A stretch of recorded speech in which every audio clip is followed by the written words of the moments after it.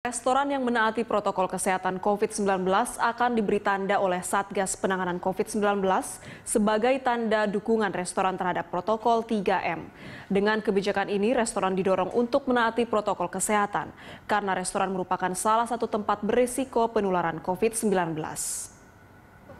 Satgas Penanganan COVID-19 berencana memperlakukan standarisasi dari restoran yang memperlakukan protokol kesehatan COVID-19 dengan cara memberikan stiker kepada restoran-restoran yang telah terbukti memperlakukan protokol kesehatan COVID-19 dengan benar. Standar yang diambil dari Satgas Penanganan COVID-19 mengacu kepada protokol 3M, yakni memakai masker, mencuci tangan, dan juga menjaga jarak. Pembatasan sosial berskala besar atau PSBB transisi di DKI Jakarta memperbolehkan masyarakat untuk kembali makan di restoran. Meski begitu, masyarakat dan pihak restoran masih diharuskan untuk mentaati protokol kesehatan 3M yang terdiri dari memakai masker, menjaga jarak, dan mencuci tangan sesering mungkin. Untuk memastikan pihak restoran menerapkan protokol kesehatan yang ketat, Satgas Penanganan COVID-19 berencana untuk memberi penanda bagi restoran yang taat protokol kesehatan COVID-19. Misalnya, restoran Prasmanan di Jakarta sekarang ini telah memperketat protokol kesehatannya dan memperlakukan peraturan baru dalam aktivitas pengambilan makanan serta proses memasak. Selain itu, pihak restoran juga didorong untuk memperketat protokol kesehatan dengan cara menyaring pelanggan yang masuk restoran dan juga mentaati kapasitas maksimum 50% dari total kapasitas restoran. Untuk di protokol kesehatan yang pertama, di sini ada sarung tangan, sarung tangan sekali pakai untuk customer.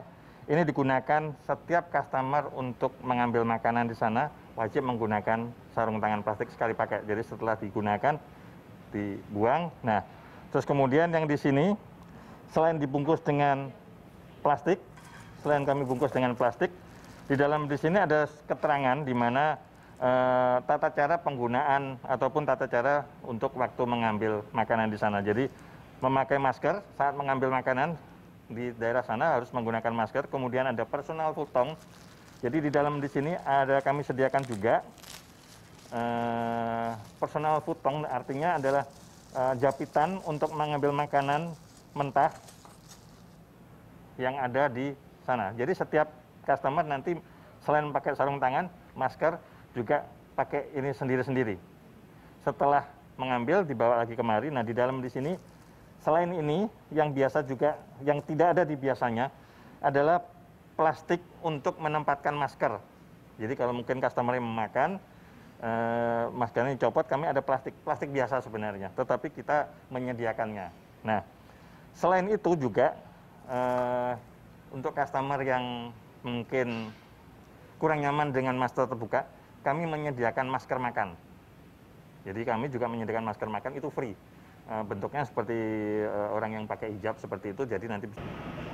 Sebelum memilih restoran, masyarakat dianjurkan untuk melihat protokol kesehatan yang diberlakukan oleh pihak manajemen restoran. Yang perlu diperhatikan adalah seberapa ketatnya pihak restoran menerapkan protokol 3M bagi pengunjung atau stafnya. Hal ini dianjurkan kepada masyarakat untuk membantu upaya pemerintah dalam memutus mata rantai penyebaran COVID-19. Selain itu, dengan taatnya restoran terhadap protokol kesehatan, diharapkan bisnis rumah makan kembali bangkit setelah penurunan pendapatan yang signifikan akibat pandemi COVID-19. Pedoman protokol kesehatan COVID-19 yang akan dijadikan standar oleh Satgas Penanganan COVID-19 diharapkan dapat memutus rantai penularan COVID-19 dan juga membantu bisnis restoran yang selama ini terpuruk akibat adanya pandemi COVID-19.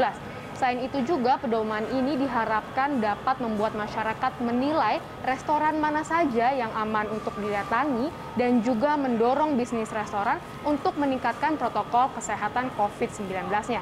Cinta Zanidia, Adini Anissa, Berita 1, Jakarta.